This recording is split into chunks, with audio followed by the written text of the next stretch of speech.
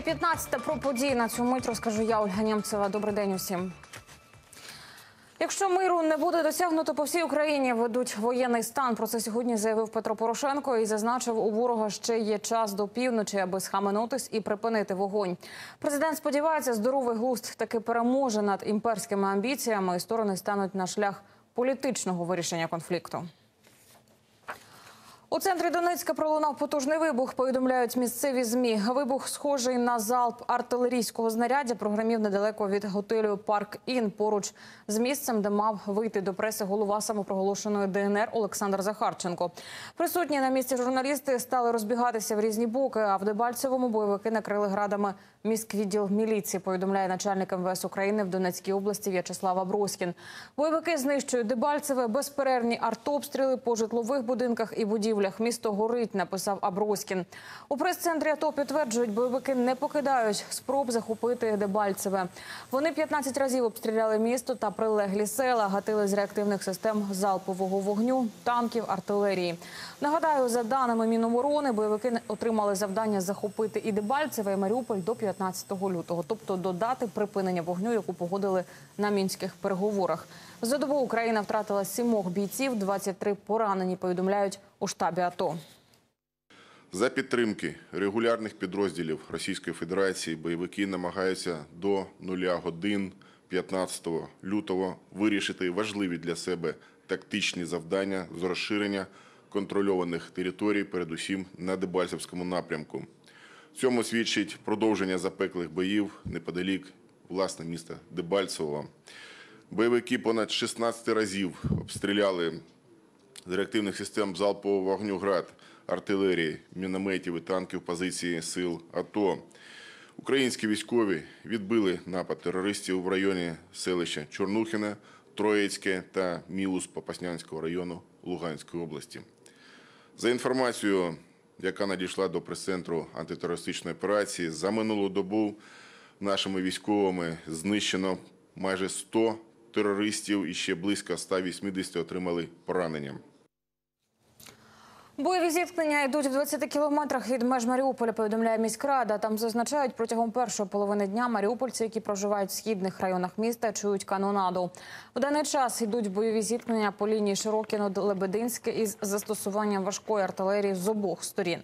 Українські військові закріпилися на позиціях і утримують рубежі. Противник несе втрати. У той же час ситуація в Маріуполі і навколо нього контрольована. У сил АТО достатньо засобів для відбиття будь-якої потенційної атаки з боку ворога. Полк Азов, повідомляє, українська артилерія вдарила по скупченнях техніки та живої сили противника на підступах до селища Широкине. В бій прибувають українські сили. У Широкіному азовці знищили ворожий танк та близько півсотні бойовиків.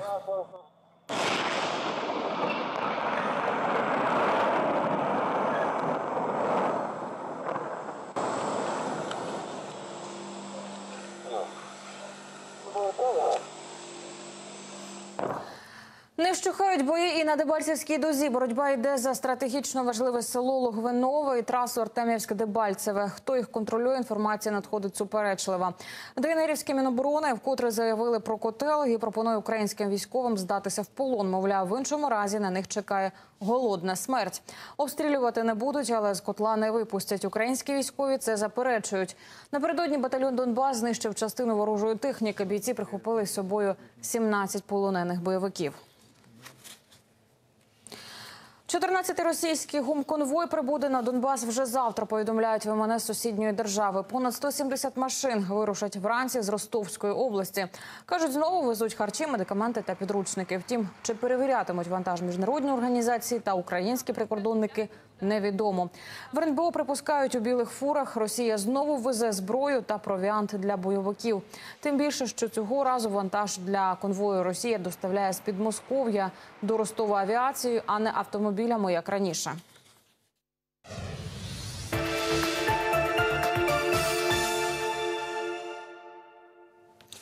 Попри вихідний, уряд працює на повну. На ранковому засіданні Кабмін схвалив зміни до бюджету на 2015-й. Усі поправки – результат перемовин уряду з Міжнародним валютним фондом. Деталі розкаже Соломія Буй. Підвищення річного курсу валют з 17 до 21 гривні за долар. Інфляція на рівні 26%. Такими прогнозами уряд розпочав суботнє засідання. Водночас прем'єр Арсеній Яценюк висловив сподівання на стабілізацію курсу за рахунок чотирирічної кредитної програми МВФ. За її умовами Києву виділять 40 мільярдів доларів на фінансовий сектор і підтримку банківської системи. Перепаде дещо і простим українцям. Планують збільшити зарплати, щоправда, не суттєво і лише наприкінці року. Вперше передбачено в програмі індексація грошових доходів населення в залежності від економічної ситуації, в залежності від темпів росту цін. І нам треба активно попрацювати, щоб на тій території, яку ми повністю контролюємо, де українська влада несе всю повноту відповідальності, де є український бізнес, щоб цей бізнес розвивався, щоб робочі місця працювали, щоб платились податки, і щоб інвестор, який сьогодні дуже обережно дивиться на Україну, в першу чергу в силу військового конфлікту з Росією, повернувся назад. Стабілізація економічної площини в країні напряму залежить від виконання мінських домовленостей. Як тільки ситуація на сході стабілізується, економіка зросте певний прем'єр. А тому в 2015-му збільшаться і видатки на забезпечення боєздатності армії. Крім того, Кабмін пропонує виділити додаткові кошти переселенцям, яких нині уже більше мільйона. Додатково майже 3 мільярда гривень ми виділяємо на допомогу тимчасово переміщеним особам. Це тим людям, які позбавились своєї хати, які позбавились роботи. І це відповідальність української держави і кожного з нас допомагати українцям, які потерпають від російського тероризму. Проект змін до бюджету мають намір зареєструвати в понеділок, а до кінця місяця уже прийняти весь пакет законів. Для цього Арсеній Яценюк попросить раду зібратися на позачергове засідання, ймовірно, 25 лютого. Соломія Буй, Зорян Бень, ТВАЙ. На екстрене засідання збирається Радбез ООН. Дипломати зустрінуться завтра у Нью-Йорку. Обговорять проект резолюції щодо України, який пропонує Росія. У ньому Москва закликає сторони конфлікту припинити вогонь. Якщо Радбез підтримає документ, це стане її першим ухваленим рішенням щодо України. Нагадаю, на попередній резолюції Москва блокувала. Тим часом постпред України в ООН заявляє, Росія намагається відмежуватися від втілення у життя перемир'я. We don't hide our Ми не приховуємо свого розчарування, що керівництво Росії негайно відмежувалось від процесу реалізації мінської угоди, наполягаючи на тому, що не є частиною спору. Викликом також є те, що керівництво самопроголошених республік одразу після підписання угоди засумнівалося, що її втілення реальне. Крім того, для нас було і є неприпустимим, що під час зустрічі у мінську 50 танків, 40 артилерійських систем і 40 бронемашин прибули з Росії до сепаратистів. Це жахливо, як сепаратисти готуються припинити вогонь у неділю. Дебальцеве обстрілюють російські військові. Про це заявила представник держдепу США Джен Псакі. Вона також звинуватила Росію в постачанні важкого озброєння в район бойових дій. Це явно не в дусі угоди і досягнутої на цьому тижні. Відзначила Псакі. У Вашингтоні закликали до стриманості напередодні припинення вогню у неділю. Російські військові розгорнули велику кількість артилерії і ракетних систем залпового вогню навколо Дебальцевого, звідки ведуть обстріл по українських позиціях. Ми впевнені, що це російські військові, а не системи сепаратистів. Російські військові також розмістили системи ППО біля Дебальцевого. Російські підрозділи вздовж кордону з Україною готують велику партію поставок ресурсів для проросійських сил, які воюють на сході України. Про те, що під Дебальцевим діє російська артилерія, заявив посол США в Україні Джефрі Паєт. Американський дипломат виклав у твіттер супутникові знімки із зони боїв. Паєт заявляє, сепаратисти тепер мають більшу бойову силу ніж деякі країни НАТО і Європи, зокрема багато танків, БТРів, важких артилерійських і ракетних систем. Велика сімка застерігає тих, хто порушить перемир'я про наслідки. Найбільш розвинені країни обіцяють вжити заходів проти тих, хто не зважатиме на мінські домовленості. Зокрема, щодо припинення вогню і відведення тяжкого озброєння. Про це йдеться у спільній заяві політиків, оприлюдненій на сайті Держдепу США. У великій сімці також стурбовані боями довкола Дебальцевого. Там закликають припинити вогонь у ніч проти неділі.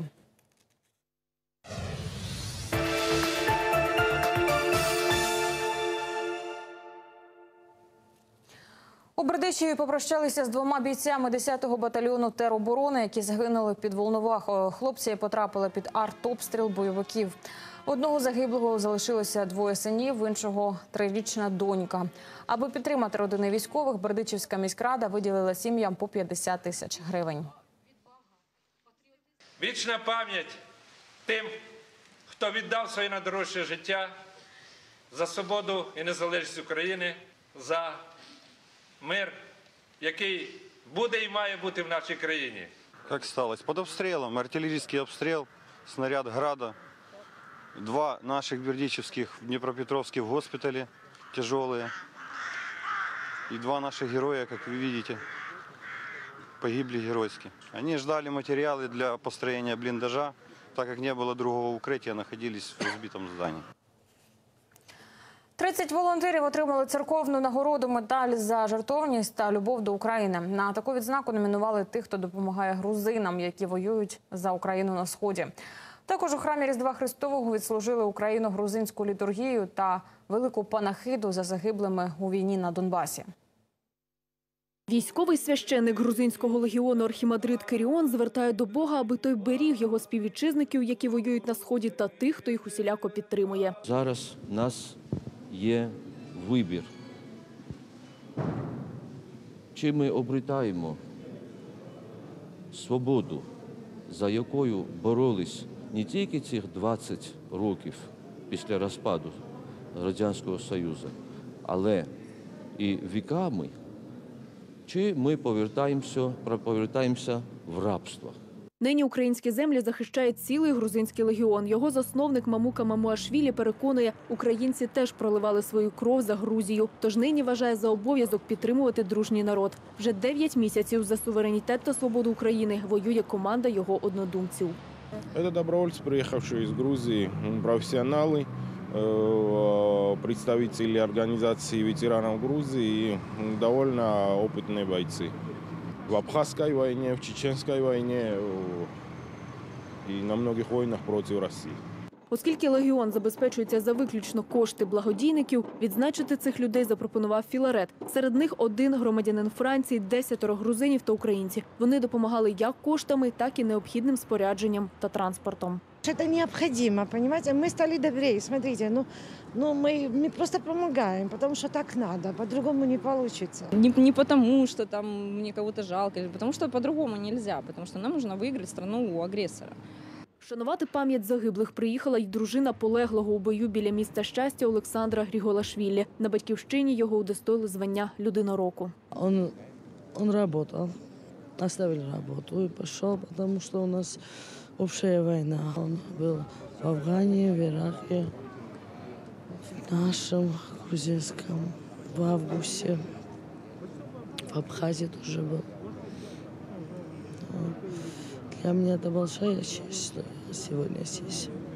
Аби Україна вистояла у цьому протистоянні, дуже важливо для усього грузинського народу, переконує член парламенту. Та наголошує, це наша спільна війна з Росією. Останні ж мінські угоди вважає вдалими у контексті тиску цивілізованого світу на агресора. А от у дотриманні домовленостей Путіним далеко не упевнений. Не уверен и, конечно же, не надеюсь, что Путин э, исполнит все свои обязательства, которые он на себя взял, но у нас должна быть своя стратегия. И мы должны идти своей стратегией. Рано или поздно мы обязательно победим. Если сейчас Украина не выиграет в этом процессе, если Украина не сможет, тогда погибнет и Грузия тоже. Грузини зізнаються, зворушені отриманими відзнаками та не втрачають наснаги підтримувати Україну як на фронті і в тилу, так і у сфері реформування країни. Марія Черніхівська, Віталій Колот, ТВАЙ. Поки триває боротьба за цілісність країни, у його житті своя війна. Він не боїться то, але все одно герой. Бо переміг смертельну хворобу. 14-річний киянин Вадим Дубня подолав рак лімфовузлів. Тепер мріє закінчити школу і стати льотчиком. Та перед тим йому ще треба довести до кінця свій вирішальний бій. Йому 14, він читає книжки і грає в комп'ютерні ігри. Мріє стати пілотом. Через ослаблений імунітет хлопець вразливий до вірусів. Тому майже не виходить на вулицю, перестав ходити й до школи і менше спілкується з однолітками. Натомість щодня приймає ліки і дотримується особливого режиму. Попри це, з блиском в очах Вадим жартує і бажає одного повернутися до звичного життя. Вже скоріше закінчити всі ці історії. І вже щоб нове було щось. Гуляв, грав з друзями багато часу на вулиці. Ходив у школу, звичайно. Ще два роки тому лікарі оцінювали його шанс на життя у 10%. Спочатку Вадим потрапив до шпиталю з підозрою на пневмонію, яку і почали лікувати медики. Утім, полегшення не було. З кожним днем йому ставало все гірше. Почалися проблеми з кістками. Батьки розповідають, у прямому сенсі вони почали розпадатися. Після обстеження лікарі врешті поставили страшний діагноз лімфома. Потому что мы его привезли с э, хирургии в гематологию, то есть мы его принесли. То есть он ну, не ходил. Вадим переніс шість хіміотерапій, заново навчився ходити і переміг пухлину. Утім, зітхнути з полегшенням родина так і не змогла. Через рік ще один вирок – важке захворювання крові. Когда у нас показали повышенные лейкоциты, ну, начали сдавать анализ, сделали пункцию костного мозга. Опять же, нам повезло, нам не могли, очень быстро в кавычках повезло поставить диагноз, то есть в течение недели не могли выяснить опять, почему, что же за лейкоциты, почему повышенные. Вот. э, Ну вот, показало, что вот, вот этот ген м, с- ну, перестал правильно работать. Химия, лечение уже в этом случае не помогут, то есть нужна только пересадка. Трансплантація кісткового мозку – єдине, що може врятувати життя Вадима. Утім, лікарі радять зробити це ефективніше за кордоном, але коштує процедура від 150 до 300 тисяч євро. Таких грошей у родини немає, а чекати ризиковано. Никто не знает, как он поведет себя завтра, послезавтра. У него может вот резко вскочить температура ни из чего. Просто сидеть за компьютером или смотреть телевизор или читать книжку. Если его сделают, эту трансплантацию, у нас есть шанс, то есть что приживется, что будет все хорошо и болезнь не вернется. Після подолання раку у Вадима є шанс на життя. Утім, сподіватися тепер можна лише на Бога і небайдужих людей. Мама благає допомогти врятувати єдину дитину. Номери банківських карток батьків Вадима ви бачите на екрані. Вікторія Сеник, Андрій Радіч, ТВАЙ.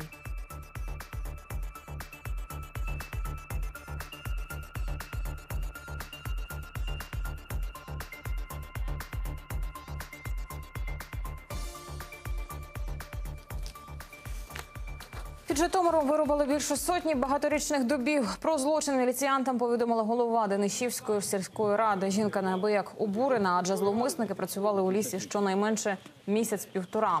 Переконують екологи. Ті заміряли пеньки, аби встановити шкоду заподіяну довкіллю. Місяць, півтора, ну не менше місяця. Різали, вирізали дуб, вивозили. Ми зараз прийшли і вже махаємо руками, що вже порушення зробить. І в першу чергу лісник. Не міг вже навіть сказати, ну я розумію, що це не твоє, але ж ти ж ходиш тут, бачиш, різуть. Це варварське, це нижче не буває. Це вже називається, що люди, люди опускаємося до плінтуса. Понятно, що біда, що нема грошей. Ну, перш за все, е, я набрала 102. Виклик мій був зафіксований е, обласною міліцією і переданий на районну міліцію. Сказали, що на протязі е, години оперативна група вийде і будемо тоді виясняти. Зірки Голівуду розговорилися з нагоди Дня Святого Валентина. Відомі актори, письменники, співаки розповіли про найромантичніші моменти свого життя. А саме про перше кохання і поцілунки, кумедні і щирі откровення знаменитостей у наступному сюжеті.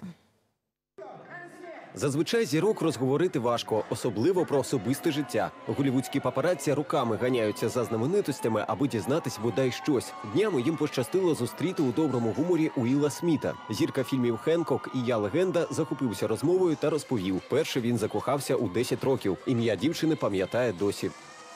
О Боже, це було так давно. Мій перший поцілунок. Це було, мабуть, із Стейсі Брукс. Я майже впевнений, що з нею. Вона була моїм першим коханням. Я не пам'ятаю, чи це було взаємно. Здається, я поцілував її та втік, аж п'яти заблищали. Партнерка Уіла Сміта по блокбастеру Фокус, акторка Марко Робі, ділиться своїми згадками. Мовляв, їй з першим коханням пощастило. То був чарівний момент. Мій перший поцілунок. Я була на сімейному відпочинку. Це було як у кіно, неймовірно. Цей хлопчик підійшов до мене. Ну як, хочеш потусуватись разом? А я така ні. Дурною була, сказала на автоматі. Ну а потім ми знову зустрілись і вперше поцілувались на острові. Актор Джеремі Півен каже, усе було як у відомій англійській пісенці. Вони забрались з обраницею на дерево. Взагалі-то він каже, це дуже особисті спогади. Мій перший поцілунок був на дереві. Ми сиділи і цілувались. Я був у п'ятому класі. Взагалі я нікому не розповідав про це раніше. Це ексклюзив. Водночас з першим поцілунком щастить не всім. Дехто каже, був не в захваті. Це було жахливо. Купа зубів і трішки якоїсь агресії. Це не дуже гарна згадка для нас обох. Я впевнений. Мій перший поцілунок, я пам'ятаю його. Це було в бібліотеці в місті Джерсі. Моя подруга примусила мене поцілувати хлопця на ім'я Денні. Мені було ймовірно років 12. Я тільки пам'ятаю, його язик ходив по колу у мене в роті. Мені було не дуже приємно. Згадкою про перший поцілунок поділилась і авторка скандальної книжки «50 відтінків сірого. Була небагатослівна. О, так, мені було шість. Його звали Гай. Це все, що я можу розповісти. Скромничав перед журналістами також Джуд Лоу і відома модель Іман. А от канадський стиліст Джей Мануель своїми спогадами поділився. Мій справжній перший поцілунок був з отою дівчиною Кетрін в дитячому садку. У чому усі зірки виявились єдині, так це у тому, що перше кохання вони не забудуть ніколи. Ці спогади назавжди залишаться в їх серці. Олексій Чупалов, ТВАЙ. Зимова казка у Тибеті, столицю регіону, місто Лхаса, завалило снігом. Такого там не бачили майже 20 років. За кілька днів випало понад 15 сантиметрів. Рух транспорту ускладнено, аеропорт працює з перебоями. Водночас погода створює святковий настрій, адже незабаром там відзначають новий рік за китайським і тибетським календарями. Люди ліплять сніговиків і фотографуються на фоні зимових пейзажів. Сніг також добре впливає на екологію, знижує ризик пожеж, зволожує ґрунт і покращує повітря.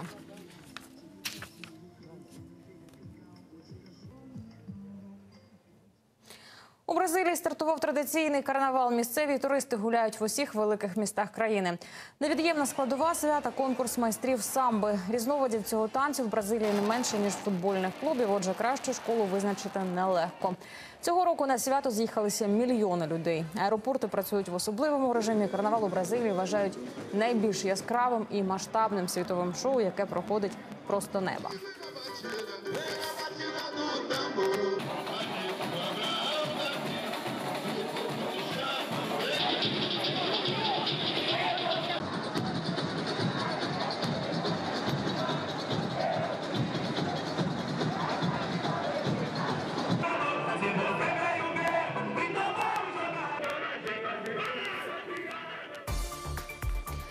Нехай гарний настрій не полишає. Дякую, що з нами. Інформаційний підсумок дня. Дивіться о 18. Я на вас чекатиму.